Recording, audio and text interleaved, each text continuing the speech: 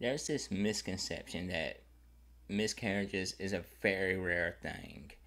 And today, I'm going to tell you one that is very, very far from the truth.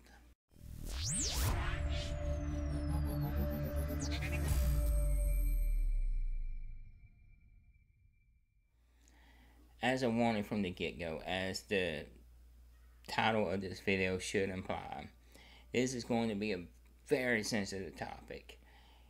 Miscarriages is not something that's easy to deal with. So if you are triggered by miscarriages, if you're triggered by the any kind of graphic details concerning miscarriages, which I will be getting to a little later in this video, or if you're triggered by any such thing, please click away from this video. I don't want anybody to come to this video and get hurt because of any topic uh, concerning miscarriages that I'm going to be talking about. Because it's not an easy topic to talk about. So please go into this video with this big warning that it is not an easy topic to discuss. My goal of this video is not to hurt anybody because of the subject matter. It's to raise awareness of how common miscarriages are. It's to give a dad's perspective on miscarriages. And it's to dispel this belief that miscarriages are rare because they're not. They are very far from rare. And I will get into some more details about that. And I also want to talk about something that the medical industry needs to change, which will be coming up when I discuss my wife and I's first miscarriage. So stick around for that. To start off, I want to get the definition of a miscarriage just to give context to everything, and that is the expulsion of the fetus from the womb before it is able to survive independently, especially spontaneously or through the result of an accident. And from my research, I can tell you that miscarriages is the most common type of pregnancy loss, and miscarriages often occur because the fetus isn't developing normally. And sadly, more often than not, they can't even tell you why your fetus or why the fetus isn't developing normally you know, even after evaluations, they can't really tell you why you lost your baby. And really, that sucks. I mean, there's no other way to spin it. It sucks because you really have no answers and you left wondering, what did I do wrong? What can I have changed? And really, there's nothing you could have done differently, you know. And we've had doctors tell us that when we had our first miscarriage the doctor said you could have did everything right and still lost a baby. And there's no reason they can give you as to why you lost your baby. And as somebody that's been there, you know, it really sucks because you're always left wondering. I believe miscarriages seem uncommon because not many people want to talk about it because it's not an easy topic to talk about. And from experience, I can tell you it's not easy. This video is not an easy video for me to record because we have experience in it. And it's such a sensitive topic that I'm really scared to put this video out there because I know somebody can get hurt by it. And again, that's not my intention. But I'm going to get into some numbers now. And these numbers are insane when you look at them because of this misconception that miscarriages are so rare. When you start getting into some of these numbers, it will completely blow your mind. Like when I decided to do this video and started looking at some of these numbers, it, it, it completely blew my mind because I wouldn't have believed these numbers are true without verifying it through multiple sources. And approximately 10 to 20% of pregnancy confirmed by testing result in miscarriages before 13 weeks of the gestational period. So 13 weeks, and that's just the people who have done tests, regardless if it's home test or hospital test or doctor's test, 10 to 20 percent. But to go a little even farther with it, the estimate is as high as 31 to 50 percent of people who haven't been tested, who didn't even know they were pregnant. So that's a big number. 31 to 50% of the people who doesn't even know they were pregnant pregnant miscarry. And to break it down, about 80% of miscarriages happen before 13 weeks. About 1% happen between 13 and 20 weeks. And less than 1% are stillborn after 20 weeks and the age of the mother does factor uh, plays a huge factor into it. The likelihood of miscarriages increase as with the age of the mother, and this chart shows you. And I will discuss this, or I will read this chart off. Five percent of women between the twelve between the ages of twelve and nineteen has a chance of miscarrying. Seven seven percent of the women between the age of twenty and twenty four have the chance of miscarrying.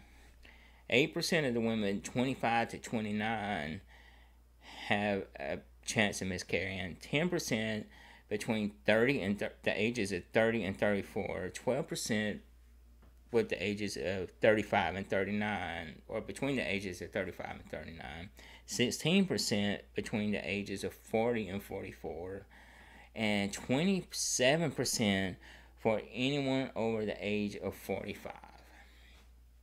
Now, I have looked at multiple graphs, and this is just one of them.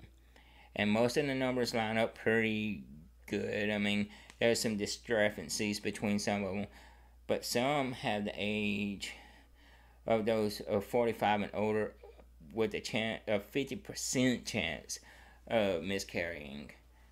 Now, I don't know which number to go by on that one, but even 27% is a large number.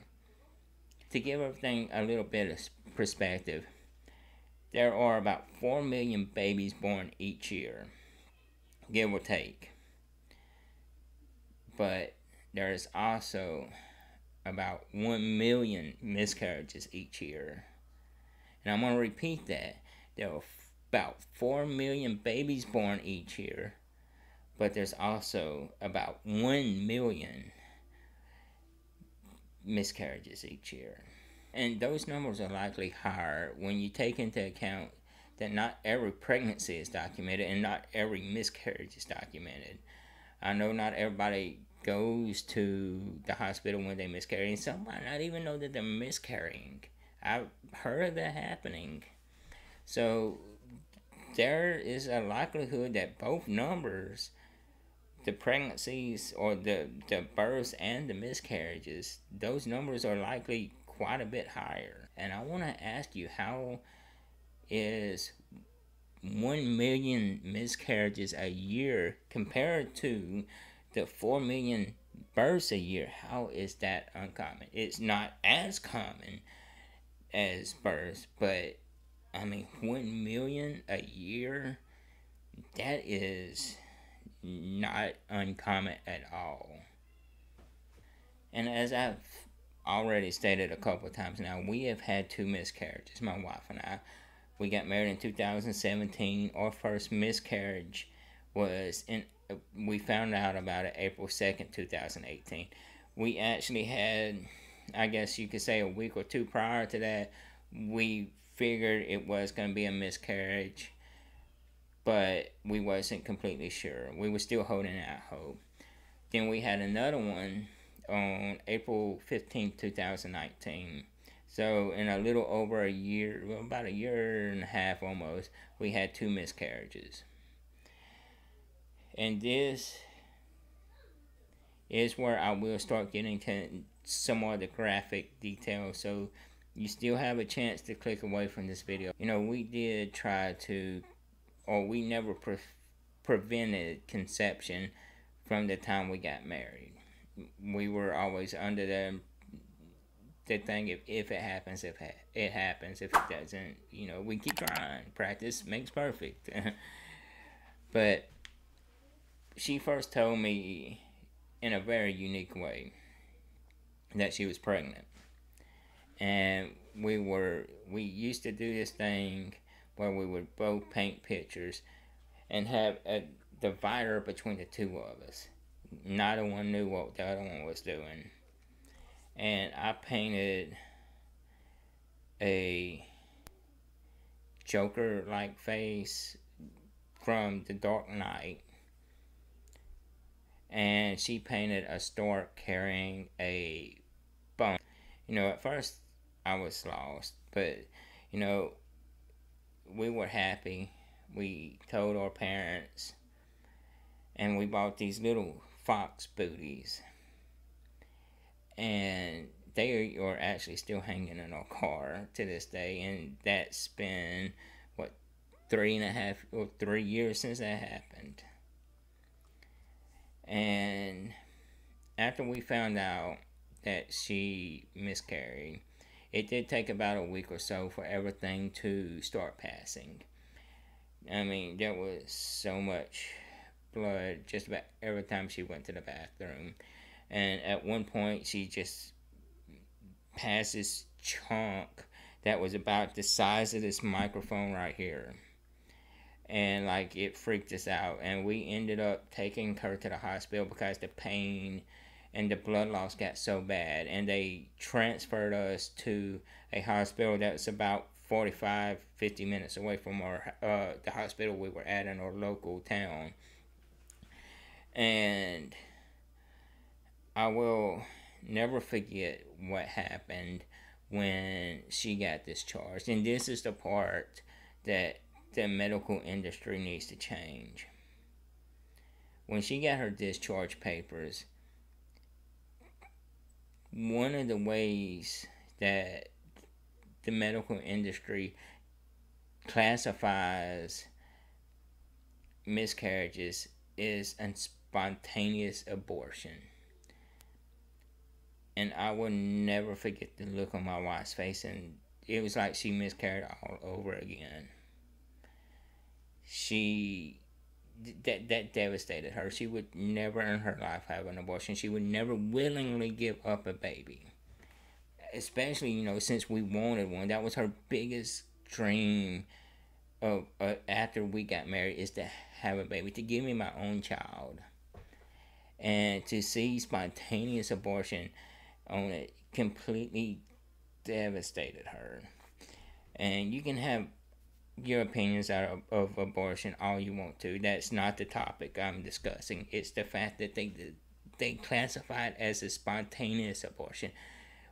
We did not want to get this baby up, and if you know anything about the English language, a to abort means to give something up, and we did not willingly give it up. We did not spontaneously decide, hey, let's get rid of this baby. You know, spontaneous, in my opinion, you know, is going to get a spontaneous tattoo, a drunken tattoo, whatever you want to call it. But to classify it as a spontaneous abortion, willingly giving up your child, is terrible. And I honestly believe that's something that the medical industry needs to change because that's not right. I don't care what the reasoning behind it is. The look on my wife's face when she saw spontaneous abortion on her discharge papers is enough for me to go in this and say that that is wrong. And that's something, and I've heard other mothers say the same thing. So don't think I'm alone on this. Spontaneous abortion needs to be taken off of discharge papers. Put down miscarriage. Put down something else. Do not keep it as spontaneous abortion because my wife did not spontaneously decide to give up her child. So we need to find a way to change this. That is just wrong on every conceivable level. So if anybody from the medical industry is listening to this, please change that. And I won't lie to you, after the miscarriage, miscarriage, we were scared to try again. We found out she was pregnant again in two, uh, late 2019. And I'm not gonna lie, we were scared. after everything that happened with the first time, I think we had every right to be. And we didn't really get our hopes up that anything was going to be any different. And she ended up losing that baby again. This time earlier. This time we didn't go to the hospital. But I will say that I was getting ready for work. I was completely dressed and she had been having cramps for a couple of days and she was scared it, that the same thing was going to happen again and i had already got dressed for work i was about to leave the house but she had to go to the bathroom and i went in there to tell her i loved her and i would see her in the morning and when she got up she saw what ended up being our baby in the toilet. And she ended up scooping it out and held it in her hands. And I'm not gonna lie, that was one of the hardest moments in my life. Because although we didn't get our hopes up, just seeing that image, it, it, it is something that you never want to see in your life. It's something that you can't get over. And I'm not a crying man, but I did call my mom right after it happened and let her know. And I almost broke down in tears right then. And in all honesty, both times, both miscarriages, the one in 2018 and 2019, I was completely lost of what to do. And I know this is something that any dad is going to go through. It's hard for us to, or hard for a lot of us, to put in our emotions into words. We don't know what it's like, and we will never understand what it's like to lose something that we feel growing inside of us. So we can't we can't feel it to the depth that a mom can. We can be hurt by it. And trust me, I was hurt by it and I will tell you right now that it's this is going to all the dads out there that have went through this or that will go through it. And I don't wish this on anybody. But it's okay for you to hurt too. I'm still scared of it happening to any of our future babies. Because I don't want to see my wife to go through this again because it, it, not only do I feel like there's nothing I can do, she doesn't know what to do either and I'm pretty sure this goes to, for a lot of moms. They don't know how to handle this situation either. They they are hurt. They don't know what they did wrong, or not necessarily what they did wrong. They believe that they might have done something wrong and never had done anything wrong. Nothing they did is likely to have impacted that baby from developing normally. And it's hard for both parents to handle this. So, dads, it's okay to hurt. It's okay to cry with your wife or your girlfriend, whatever she is. You know, understand that it's okay to hurt. Be there for your wife, be there for your girlfriend, but be there for yourself too. And truthfully, like I said, I will always be scared of this happening to any of our future babies. And it's a fear that my wife holds too. It's a fear that will never go away as long as we are still trying to have more babies. And even if we're not trying, you know, it's still a fear that we're going to have if, you know, we don't try and she ends up pregnant again. You know, that's always going to be a fear there. I will tell you that in January of 2020, when the world was basically going to hell in a handbasket, we did find out that we were pregnant again. And we didn't want to get our hopes up. We didn't want to do anything because we were looking back at the fact that we bought one little pair of booties for the first baby and a uh, an outfit for it too that we jinxed the baby. So we didn't really want to buy anything for the baby we found out that she was pregnant with in 2020. And we were scared the whole pregnancy. But we she's a happy, healthy baby. And that's her wearing my hat. And that's Casey and Piper that they we were right before we got discharged from the hospital. And I'm not gonna even lie to you. She's nine months old now, or eight months old now, and I still fear every day I'm gonna wake up and find this was all a dream, that it was another miscarriage, or like I told a friend last night while talking on Facebook Messenger. I'm scared that I'm still gonna wake up and find myself single and not have a family at all. So there is always a fear that's gonna be associated with miscarriages after you have one. Or even if you don't have one, it's easily to be scared of one because you don't know. And for all of you that do the April Fool's joke, of, oh, I'm pregnant. This is why people get mad about it or get upset about it or threaten to block you. It's not that we are being butts about.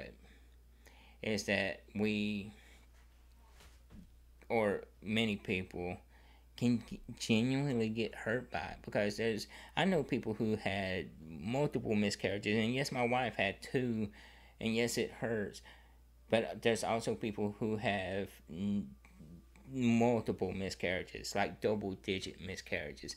I have a friend that has had multiple miscarriages and then they had a stillborn. So it sucks. It doesn't matter if it happens at two one week, two week, twenty eight weeks, or a stillborn. It's always gonna suck. So please understand that there is a reason people get upset behind the April Fool's joke of I'm pregnant. If you're not pregnant, don't say you are. Please, for the sake of everybody who either has had miscarriages or is unable to conceive, because I know people who can't conceive as well. And I think both are equally devastating in their own way. I will tell you that I came across a Facebook post that a friend shared as I was making this video. And to me, it gave a sign that I was supposed to make this video. And you can take that for whatever you want to. But watching or reading this post, and I'm going to put it on the screen just like I put the graph on the screen but this video or this post just hits home on so many levels. And I want to be honest, I said some of these things before. And now that I have the perspective I do, I see how wrong I was. And I hope anybody that can wa- that watches this video was uh, see this perspective I'm coming from. But this is what the post says. Please stop saying at least it was only early. Please stop saying it wasn't the right time. Please stop saying you can always try again. Please stop saying everything happens for a reason. Please stop saying at least you weren't that pregnant. Please stop saying you are still young. You can just try again. Words hurt. Whether you lost a baby at 8 weeks, whether you lost a baby at 12 weeks, whether you lost a baby at 16 weeks, whether you lost your baby at 20 plus weeks. Your pregnancy loss matters. Your tears matter. You matter. And in closing, it should go without saying that if you haven't had a miscarriage, I hope you never do. And if you have had a miscarriage, I'm deeply sorry for your loss. And I hope it never happens to you again.